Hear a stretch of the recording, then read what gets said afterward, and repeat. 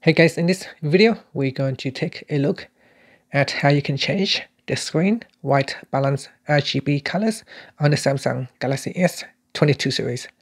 First tap on the home button to go back to the home screen. From the home screen, swipe down at the top and tap on the settings button.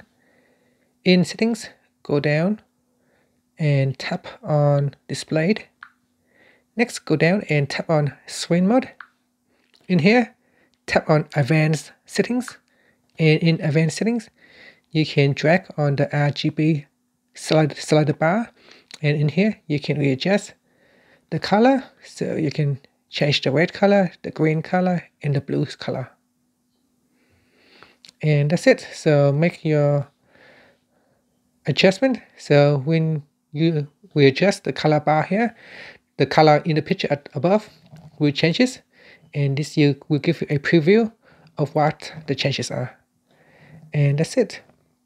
Once you're happy, just tap on the back key to go back to your settings screen, or you can tap on the home button to go back to the home screen.